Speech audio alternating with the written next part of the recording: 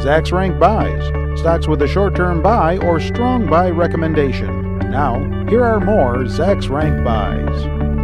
Momentum Stock Time once again with Mike Vodicka, our Momentum Stock Analyst at Zacks.com. He's brought a couple of uh, interesting selections this time. You're in the zone with AutoZone. That's one that you want to look at. AZO, the ticker symbol. Yeah. Um, AutoZone is a kind of a playoff of what we're seeing happening in with the, you know the general consumer environment and also the auto industry. And AutoZone, they just sell car parts and allows people to kind of upgrade existing existing models here. Mm -hmm. And these stores have done fairly well over the last year as uh, consumers have migrated away from purchasing new. Um, autos moving back a little bit. AutoZone is fairly big. Uh, it's an eight and a half billion market cap, and they have over 4,000 stores in the United States, so they have a fairly strong presence. And um, you know the macro level economic environment has translated into really nice results for the company. Um, their third quarter results were on May 27th were really solid. Uh, sales were up 9% and their income was up 10%. Earnings came in at $3.13, so that's a really nice, really nice production right there.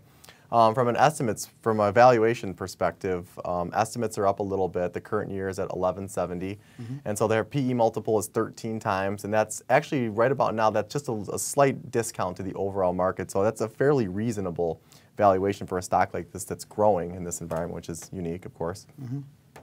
And then moving on to the chart here, um, you know what I've noticed is that there's there's two kinds of stocks right now: stocks that have taken off in March, or stocks that kind of took off in November of last year.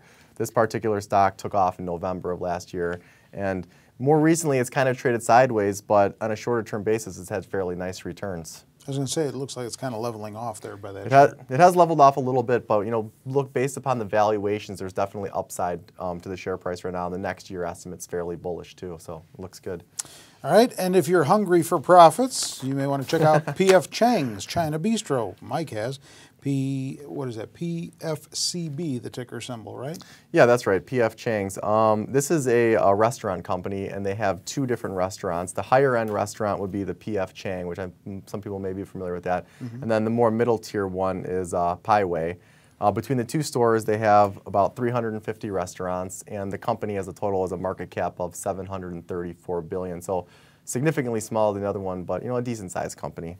Um, and this kind of, it's a little bit more of a, a non-traditional momentum pick, particularly in this environment right now. That's why I wanted to showcase this company is that a lot of, a lot of um, restaurants in general have really suffered as consumers have pulled back. They're eating home more often. They're opting for less expensive dining options. But this company has held up fairly well when they reported their first quarter results in April, uh, they actually saw an uptick in their sales. Sales were up 1%, but the, the company focused on operational efficiencies and cost cutting, so they were able to drive their income with, those, with, that, with that approach. And um, their earnings came in at 53 cents, 20 cents ahead of the estimate, or, or 20 cents ahead of the consensus estimate. So that was a really nice beat.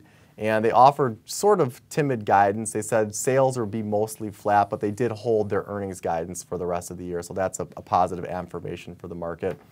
And then, you know, finally moving on to the chart, like I mentioned before, two kinds of stocks, stocks that have been rallying since November and stocks that really started rallying in March. This is a stock that started rallying in March and it was trading right around uh, the you know 15 16 dollar level and since then it's crossed 33 so it's more than doubled. That's a, a fairly nice run right there.